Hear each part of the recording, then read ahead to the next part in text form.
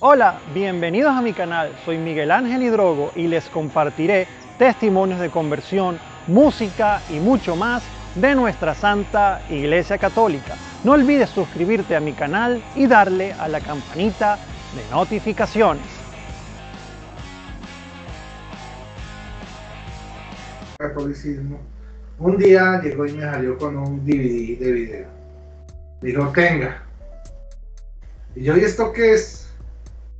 Es el testimonio de un pastor que se convirtió al catolicismo, un pastor protestante.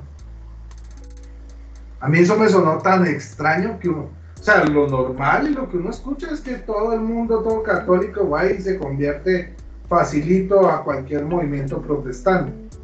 Pero que un pastor protestante se convierta al catolicismo.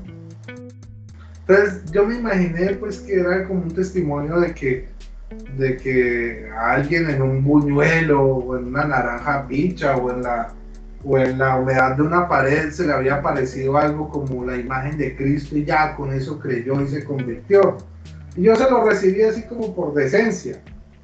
Pero entonces todo ese tiempo que yo había estado montándosela con que dejara el catolicismo, me dijo, pero ve el video. Entonces yo le dije, sí.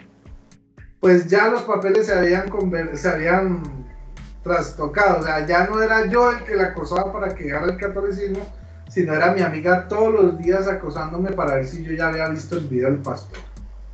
Yo le decía, no, que mañana, que no. Y, pero me tuvo así al rojo vivo no sé cuánto tiempo, yo creo que unos dos, tres meses en ese asunto.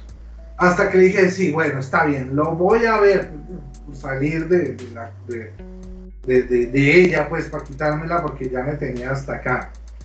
Entonces puse el DVD y me encuentro con el testimonio de una mujer, la esposa del pastor convertido, pues habla de que el Señor tocó su corazón, cambió su vida y yo, ah, esto no es nada, pura novela. Entonces lo apagué y entonces ella me llamó, vio el video, yo, sí, sí. ¿Y cómo le pareció? Pues ahí vi el de la, de la, de la esposa del pastor y eso es una bobada, eso no tiene nada, ni Biblia, ni nada. Entonces me dijo, no, pero quiero que veas el del pastor, no el de la esposa, el del pastor. Entonces yo le dije, pues eso tiene que ver lo mismo, ¿no? No, no es lo mismo. Entonces le dije, bueno, voy a verlo. Entonces cuando adelanté el, el, video hasta el testimonio del pastor, el ex pastor, cuando eh, veo es el testimonio de Fernando Casanova, ex pastor pentecostal. Y bueno, eh, voy a ver qué, qué, es lo que dice este incircunciso. Y me empiezo, me empieza a impactar que él comienza a explicar con Biblia y con versículos bíblicos. Decía este tan atrevido, utilizando la Biblia para, para, para sustentar el catolicismo. Y dije, bueno, voy a refutarlo. Y comencé a abrir la Biblia y comencé a mirar y cuando yo miraba yo veía que todo lo que decía el, el, bueno, Fernando resultaba que era cierto. Yo pensaba que estaba inventando ahí citas para engañar a la gente, cuando no era cierto todo lo que estaba diciendo. Y yo estaba buscando la forma de, refutarlo. Vi el video unas dos, tres veces y no pude. No pude. Dije, definitivamente no le encuentro error a lo que él está diciendo. O sea, todo lo que él está diciendo es bíblicamente correcto. Entonces mi amiga me llamó, me dijo, ¿qué hubo? ¿Qué pasó? ¿Cómo le fue? ¿Lo, pudo, ¿Lo entendió? ¿Lo pudo refutar? Yo le dije, no. Yo no pude refutarlo, pero le voy a dar ese video a mi pastor, al pastor Luis, que es el pastor de, de la iglesia plenitud, que él, siendo pastor, él sí va a refutar. Espere y verá. Entonces, Llegó el domingo y llegué pastor después del culto. Necesito pedirle un gran favor. Una amiga católica me dio este video de un supuesto pastor que se convirtió al catolicismo. Él da unas citas bíblicas ahí, explica, pero yo no puedo refutar absolutamente nada. Le pido por favor de verdad, para traer incluso a mi amiga aquí, que se salga ese engaño, que usted refute ese video. yo poderle mostrar a, a, mi amiga que está siendo engañada. Digo, claro que sí, hermano, no hay problema. Al siguiente fin de semana le pregunté, ¿qué hubo? Ya lo vio. Empecé como, como mi amiga Nit conmigo cuando me dio el video. Pensé, ¿qué hubo, pastor? ¿Ya vio el video? He dicho, no, la próxima semana. El siguiente semana. ¿Ya lo vio? Ahí comencé a verlo así, ¿y qué? No, hay que verlo más a fondo, espérese. Dos, tres semanas y mi amiga también empezaba a llamarme. Mm, ¿Qué hubo? ¿Ya lo vio el pastor? ¿Ah?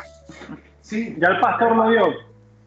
Sí, ya lo había visto y, mi, amiga me decía.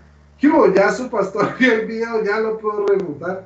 yo, no, espere, espere, espere, espere. pasaron cinco semanas y a las cinco semanas, pues yo también tenía a mi amiga encima y yo encima del pastor diciéndole, ¿qué hubo? Ya, entonces yo le dije, pastor, no más, dígame algo, porque me va a enloquecer esta mujer.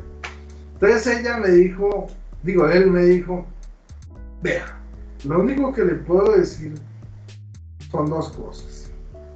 Primero es que este señor Casanova era un pastor pentecostal y los pastores pentecostales están menos formados que, nosotros los pastores evangélicos, por lo tanto, son más susceptibles de pronto de, de cambiar de doctrina. Y lo otro que le puedo decir es que en algo él sí tiene razón, que María es madre de Dios. Yo me quedé de una sola pieza porque durante todos estos años yo había aprendido que María era madre de Jesús, claro, pero solo en la carne, o sea, del Jesús humano, no de la naturaleza divina, sino solamente humano. Y los católicos son los únicos que creen que María es Madre de Dios, Emanuel, Dios con nosotros. Entonces yo me quedé impactado porque escuchar a un pastor de su propia boca diciendo que María sí era Madre de Dios, cuando durante muchos años incluso él mismo enseñaba que María era madre de Jesús sobre la carne, pues a mí eso, para mí fue una cachetada, me hubieran escupido en la cara y me hubieran tradicionado pues lo que, todo lo que yo creía. Entonces, me gustaría conocer tu opinión en la caja de comentarios. Muchísimas bendiciones.